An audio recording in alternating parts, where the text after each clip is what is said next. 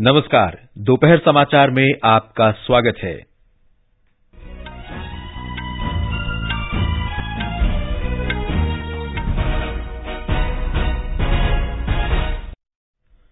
मुख्य समाचार, गुजरात की एक अदालत ने कांग्रेस नेता राहुल गांधी को वर्ष 2019 में मानहानि के आपराधिक मामले में दो साल की सजा सुनाई। भारतीय लोकतंत्र पर राहुल गांधी की टिप्पणी और अन्य मुद्दों को लेकर संसद में लगातार आठवें दिन गतिरोध राज्यसभा के सभापति जगदीप धनखड़ ने सदन के सुचारू संचालन के लिए सदन के विभिन्न राजनीतिक दलों के नेताओं के साथ बैठक की। सरकार ने कहा कोविड 19 अभी खत्म नहीं हुआ है। राज्यों से महामारी की रोकथाम के लिए सभी आवश्यक प्रबंध करने के निर्देश। और खेलों में भोपाल में चल रही आईएसएसएफ विश्व कप निशानेबाजी प्रतियोगिता में भारत ने 10 metre air rifle mixed team स्पर्धा में कांस्य पदक जीता। बासल में पीवी सिंधु, किदाम्बी श्रीकांत और एचएस प्रणय आज स्विस ओपन बैडमिंटन टूर्नामेंट में अपने दूसरे दौर के मैच खेलेंगे।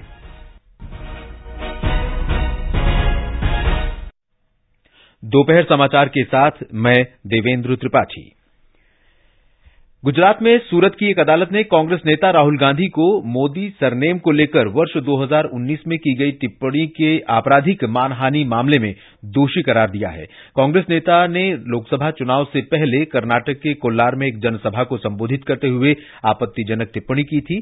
अदालत ने उन्हें दो वर्ष की जेल की सजा सुनाई है। हालाँकि न्यायिक मजिस्ट्रेट एच एच वर्मा की अदालत ने राहुल गांधी को जमानत दे दी है और सजा पर तीस दिन की रोक लगाई हुई है ताकि वे इस अवधि में ऊपरी अदालत में अपील कर सकें। इस फैसले के बाद राहुल गांधी की वायनाड संसदीय चुनाव क्षेत्र से उनकी संसद सदस्यता भी जा सकती है और वहाँ उपचुनाव कराना पड़ सकता है। फैसला सुनाए जाते समय राहुल गांधी भी अदालत में मौजूद थे। भारतीय जनता पार्टी के विधायक पूर्णेश मोदी ने राहुल गांधी की कथित अपमानजनक टिप्पणी के खिलाफ मामला दर्ज कराया था। अदालत के फैसले पर प्रतिक्रिया देते हुए केंद्रीय विधि मंत्री किरेन रिजिजू ने कहा कि राहुल गांधी जब भी कुछ कहते हैं, वो राष्ट्र और अपनी पार्टी के लिए शर्मिंदगी का कारण बन जाते हैं।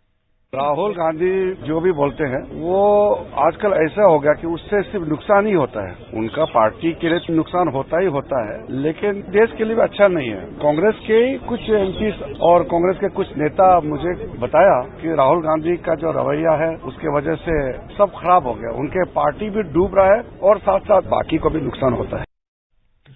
भारतीय लोकतंत्र पर राहुल गांधी की टिप्पणी और अदानी समूह के मुद्दे पर संसद के दोनों सदनों में आज भी गतिरोध जारी रहा। लगातार आठ दिन से दोनों सदनों की कार्यवाही बाधित हो रही है। लोकसभा में आज सवेरे जैसे ही सदन की बैठक शुरू हुई, विपक्षी सदस्यों ने अदानी समूह के मुद्दे पर नारेबाजी शुरू कर दी। लोकसभा अध्यक्ष ओम बिरला ने सभी सांसदों से सदन चलने की अपील की। मैंने किसी भी मान्य सदस्य को बोलने से नहीं रोका। और नियमों प्रक्रियाओं के तहत आप सभी मान्य सदस्यों ने पूरी बात अपनी सदन के अंदर रखी है। देश चाहता है सदन चले, उनके मुद्दों पे चर्चा हो। शोर शराबा जारी रहने पर लोकसभा अध्यक्ष ने सदन को दोपहर दो बजे तक स्थगित कर दिया। सदन की कार्यवाही फिर शुरू होने पर हंगामा जारी रहने के कारण लोकसभा को शाम छह बजे तक के लिए स्थगित कर दिया गया। राज्यसभा में भी सदन की बैठक शुरू होते ही सभापति जगदीप धनखड़ ने विपक्षी दलों द्वारा लगाए गए स्थगन के नोटिसों की अनुमति नहीं दी। सदन के नेता पीयूष गोयल ने कहा कि सभापति के प्रयासों के बावजूद मुख्य विपक्षी दल के साथ कोई सहमति नहीं बन रही है। विपक्ष के नेता मल्लिकार्जुन खड़गे ने अडानी समूह के मुद्दे पर संयुक्त संसदीय समिति से जाँच कराने की विपक्ष की मांग दोहराई। हंगामा जारी रहने पर सदन को पहले दोपहर दो बजे तक फिर दिन भर के लिए स्थगित कर दिया गया। इससे पहले राज्यसभा के सभापति जगदीप धनखड़ ने सदन के सुचारू संचालन पर चर्चा के लिए विभिन्न राजनीतिक दलों के सदन के नेताओं के साथ बैठक की। सभापति ने सत्तारूढ़ और विपक्षी पार्टियों की ओर से उठाए गए मुद्दों पर सदन में जारी गतिरोध समाप्त करने का आग्रह किया। संसद के दोनों सदनों के विपक्षी सदस्यों ने आज संसद भवन परिसर में भी विरोध प्रदर्शन किया। विपक्षी सदस्य अदानी समूह के मामले में संयुक्त संसदीय समिति से जाँच कराने की मांग कर रहे थे। कांग्रेस अध्यक्ष मल्लिकार्जुन खड़गे, आम आदमी पार्टी के संजय सिंह, डीएमके पार्टी के टीआर बालू, भारतीय कम्युनिस्ट पार्टी के बिनॉय बिस्वम बीआरएस पार्टी के केशव राव तथा जनता दल यू, समाजवादी पार्टी और अन्य दलों के सदस्यों ने भी विरोध प्रदर्शन में हिस्सा लिया। सरकार ने बताया है कि प्रधानमंत्री उज्ज्वला योजना के दूसरे चरण के लक्ष्यों को पहले ही प्राप्त कर लिया गया है। लोकसभा में एक लिखित उत्तर में पेट्रोलियम और प्राकृतिक गैस मंत्री हरदीप सिंह पुरी ने आज कहा कि इस योजना के दूसरे चरण का शुभारंभ अगस्त 2021 में किया गया था।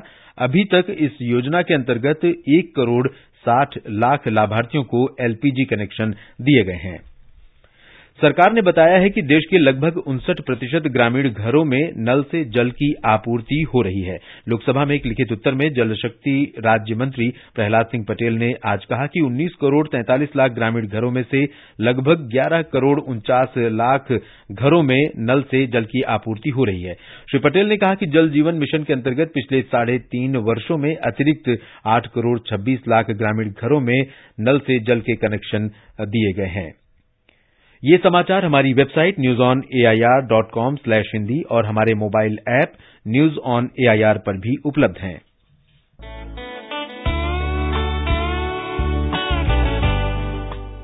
North east diary programme broadcast every Thursday at five thirty P M brings very interesting and entertaining stories from the eight Indian states of north east India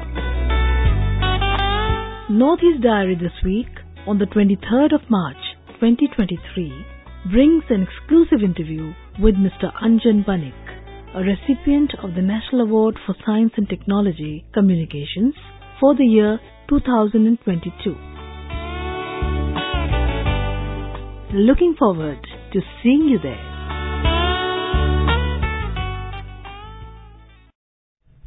दोपहर समाचार में आपका फिर स्वागत है केंद्रीय स्वास्थ्य मंत्रालय ने लोगों को आगाह किया है कि कोविड महामारी अभी समाप्त नहीं हुई है। देश में कोविड की स्थिति को लेकर नई दिल्ली में मीडिया को संबोधित करते हुए केंद्रीय स्वास्थ्य सचिव राजेश भूषण ने बताया कि प्रतिदिन विश्व स्तर पर कोविड संक्रमण के औसतन चौरानबे हज़ार मामले सामने आ रहे हैं। लेकिन भारत में संक्रमण के सिर्फ़ नौ सौ छियासठ मामले हैं, जो विश्व के कुल संक्रमण का सिर्फ़ एक प्रतिशत है। उन्होंने कहा कि आठ राज्यों में सबसे अधिक संक्रमण के मामले सामने आए हैं। महाराष्ट्र में सबसे अधिक एक हज़ार छह सौ पचास लोग कोविड संक्रमित पाए गए हैं। इसके बाद संक्रमितों की संख्या गुजरात, केरल और कर्नाटक में सबसे अधिक है। श्री भूषण ने कहा कि पिछले महीने के दूसरे सप्ताह में कोविड संक्रमण में वृद्धि हुई है। इस वजह से संक्रमण दर शून्य दशमलव शून्य नौ प्रतिशत से बढ़कर एक प्रतिशत हो गई है। उन्होंने कहा कि कोविड नाइन्टीन से निपटने के आवश्यक उपायों से संबंधित एक विस्तृत परामर्श इन राज्यों को जारी कर दिया गया है। जो राज्य जहाँ की नंबर बढ़ रहे थे, उनको हमने विशेष दिशा निर्देश भारत सरकार ने दिए थे कि उन्हें क्या कार्य करने चाहिए, जिसमें हमने कहा था कि पाँच जो कार्य हैं वो उन्हें करने चाहिए। वो टेस्टिंग की संख्या को बढ़ाएँ और जीनोम सीक्वेंसिंग की संख्या को बढ़ाएँ, ट्रैकिंग ऑफ़ पॉजिटिव केसेस, क्योंकि पॉजिटिव केस ही संक्रमण को फैलाते हैं। जैसे जैसे बीमारी घटती है कुछ ज्योग्राफीज में या कुछ राज्यों में तो इस तरह की धारणा बनती है कि अब हमें कोई भी प्रिकॉशन लेने की आवश्यकता नहीं है। तो ये धारणा गलत है। केंद्रीय गृह मंत्री अमित शाह ने आज नई दिल्ली में वैदिक हेरिटेज पोर्टल का उद्घाटन किया। इस पोर्टल का उद्देश्य शोधकर्ताओं को वैदिक ज्ञान परंपराओं को समझने में सहयोग करना और जन साधारण को प्राचीन ग्रंथों की सामान्य जानकारी देना है। पोर्टल से वैदिक विरासत से जुड़ी किसी भी जानकारी को प्राप्त किया जा सकता है। इस अवसर पर केंद्रीय संस्कृति मंत्री जी किशन रेड्डी ने बताया कि वैदिक हेरिटेज पोर्टल पर चारों वेदों की ऑडियो विजुअल रिकॉर्डिंग अपलोड की गई है। हमारे चार वेदों, ऋग्वेदा, यजुर्वेदा, सामवेदा अधर्ववेदा का ऑडियो विजुअल डॉक्यूमेंटेशन का रिकॉर्डिंग करके इस पोर्टल के द्वारा सारी दुनिया के सामने रखा है। अभी तक इस पोर्टल में अठारह हज़ार से अधिक मंत्रों के साथ 550 घंटों के ऑडियो विजुअल डॉक्यूमेंट का रिकॉर्डिंग करके सभी दुनिया को उपलब्ध करने का कष्ट किया है।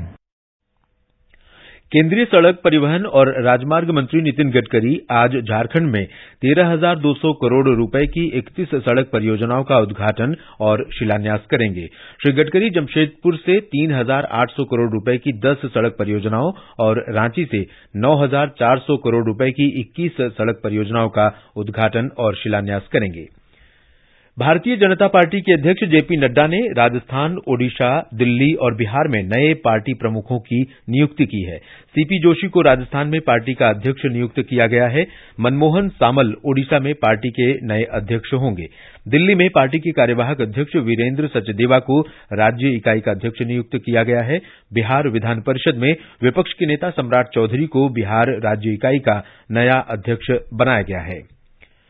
प्रधानमंत्री नरेंद्र मोदी कल उत्तर प्रदेश में अपने संसदीय क्षेत्र वाराणसी का दौरा करेंगे। Shri Modi one world TB summit को संबोधित करेंगे और साथ ही एक हज़ार सात सौ अस्सी करोड़ रुपए से अधिक लागत की परियोजनाओं का लोकार्पण और शिलान्यास करेंगे। ये समाचार आकाशवाणी से प्रसारित किए जा रहे हैं। ताज़ा समाचार जानने के लिए आप हमारे Twitter handle at AIR news Hindi को फॉलो कर सकते हैं। ये आकाशवाणी है। और खेल खबरों के साथ हैं विशाल शर्मा। भोपाल में आईएसएसएफ निशानेबाजी विश्व कप प्रतियोगिता में आज 10 metre air rifle mix team स्पर्धा में नर्मदा नितिन राजू और रुद्राक्ष बाला साहेब पाटिल की भारतीय जोड़ी ने चीन को 16 आठ से पराजित कर कांस्य पदक अपने नाम किया। प्रतियोगिता में ये भारत का तीसरा पदक है। उधर बासेल में पीवी सिंधु किदाम्बी श्रीकांत और एच एस प्रणॉय आज स्विस ओपन बैडमिंटन टूर्नामेंट में अपने दूसरे दौर के मैच खेलेंगे। पीवी सिंधु ने कल महिला एकल के पहले दौर में जेंजीरा स्टेंडलमैन को हराया। सिंधु का अगला मुकाबला इंडोनेशिया की खिलाड़ी पुत्री कुसुमा वरदानी से होगा। पुरुष सिंगल्स में किदाम्बी श्रीकांत एच एस प्रणय मिथुन मंजुनाथ और पुरुष डबल्स में सात्विक साईराज रंकीरेड्डी चिराग शेट्टी भी दूसरे दौर में पहुँच गए हैं। हालाँकि लक्ष्य सेन, ली चेउक यू से हार गए। के श्रीकांत ने वेंग हांग योंग को हराया। उनका अगला मुकाबला ली चेउक यू से होगा। प्रणय ने शी यू क्यूई को हराया। दूसरे दौर में प्रणय का सामना क्रिस्टो पोपोव से होगा। प्रधानमंत्री नरेंद्र मोदी ने आज डॉक्टर राम मनोहर लोहिया को उनकी जयंती पर याद किया। ट्वीट संदेश में प्रधानमंत्री ने कहा कि डॉक्टर लोहिया एक प्रखर बुद्धिजीवी और ओजस्वी विचारक थे, जिन्होंने भारत के स्वतंत्रता संग्राम में बड़ी भूमिका निभाई और बाद में एक समर्पित नेता और संसद सदस्य के रूप में देश में महत्वपूर्ण योगदान दिया। प्रधानमंत्री ने आज शहीद दिवस के अवसर पर महान स्वतंत्रता सेनानी भगत सिंह, सुखदेव और राजगुरु को श्रद्धांजलि दी है। ट्वीट संदेश में श्री मोदी ने कहा कि भगत सिंह, सुखदेव और राजगुरु के बलिदान को भारत सदैव याद रखेगा। रमज़ान का महीना कल से शुरू हो रहा है। रुवते हिलाल समिति ने कल नई दिल्ली में घोषणा की कि बुधवार को देश में कहीं भी चाँद नज़र नहीं आया, इसलिए पहला रोजा कल होगा। एक महीना रोजा रखने के बाद ईद उल फितर मनाई जाती है। मौसम विभाग ने हिमाचल प्रदेश, उत्तराखंड, पंजाब, हरियाणा, चंडीगढ़, पश्चिमी उत्तर प्रदेश और राजस्थान समेत उत्तर पश्चिम भारत में आज शाम वर्षा और गरज के साथ छींटे पड़ने की भविष्यवाणी की है। विभाग ने कहा है कि कल हिमाचल प्रदेश, उत्तराखंड और पंजाब में कहीं कहीं पर भारी वर्षा हो सकती है। विभाग ने कहा है कि पूर्वोत्तर भारत में भी दो दिनों तक आंधी और बिजली कड़कने तथा तेज हवाओं के साथ हल्की से मध्यम बारिश जारी रहने की संभावना है। बांग्लादेश में अमेरिकी राजदूत पीटर हास ने कल ढाका में सत्तारूढ़ अवामी लीग के नेताओं के साथ अगले आम चुनावों पर चर्चा की। अवामी लीग के महासचिव और सड़क परिवहन और पुल मंत्री ओबैदुल कदर ने पार्टी के अन्य वरिष्ठ नेताओं के साथ दोनों देशों के बीच अन्य महत्वपूर्ण मुद्दों के साथ साथ आगामी चुनावों पर भी चर्चा करने के लिए अमरीकी राजदूत से मुलाकात की। ढाका में अमेरिकी दूतावास की ओर से जारी एक ट्वीट में कहा गया है कि राजदूत हास ने बांग्लादेश में स्वतंत्र और निष्पक्ष चुनाव पर चर्चा की। उन्होंने अमरीका और बांग्लादेश के व्यापारिक संबंध और सुरक्षा सहयोग जैसे महत्वपूर्ण विषयों पर भी चर्चा की। केंद्रीय मंत्री धर्मेंद्र प्रधान ने ओडिशा में मानव और हाथियों के सौहार्दपूर्ण सह अस्तित्व को सुनिश्चित करने के लिए केंद्र सरकार से हस्तक्षेप करने की मांग की है। ओडिशा के मुख्यमंत्री नवीन पटनायक और केंद्रीय पर्यावरण, वन और जलवायु परिवर्तन मंत्री भूपेंद्र पटेल को आज अलग अलग पत्रों में श्री प्रधान ने कहा कि पिछले एक दशक के दौरान ओडिशा में सात सौ चौरासी हाथियों की मौत हुई है। श्री प्रधान ने हाथियों की मौत पर गहरी चिंता प्रकट की। और अंत में मुख्य समाचार एक बार फिर। गुजरात की एक अदालत ने कांग्रेस नेता राहुल गांधी को वर्ष 2019 में मानहानि के आपराधिक मामले में दो साल की सजा सुनाई। भारतीय लोकतंत्र पर राहुल गांधी की टिप्पणी और अन्य मुद्दों को लेकर संसद में लगातार आठवें दिन गतिरोध। राज्यसभा के सभापति जगदीप धनखड़ ने सदन के सुचारू संचालन के लिए सदन के विभिन्न राजनीतिक दलों के नेताओं के साथ बैठक की। सरकार ने कहा कोविड 19 अभी खत्म नहीं हुआ है। राज्यों से महामारी की रोकथाम के लिए सभी आवश्यक प्रबंधन करने के निर्देश और खेलों में भोपाल में चल रही आईएसएसएफ विश्व कप निशानेबाजी प्रतियोगिता में भारत ने 10 metre air rifle mixed team स्पर्धा में कांस्य पदक जीता। बासेल में पीवी सिंधु किदाम्बी श्रीकांत और एचएस प्रणय आज स्विस ओपन बैडमिंटन टूर्नामेंट में अपने दूसरे दौर के मैच खेलेंगे। इसके साथ ही दोपहर समाचार का ये अंक समाप्त हुआ। नमस्कार।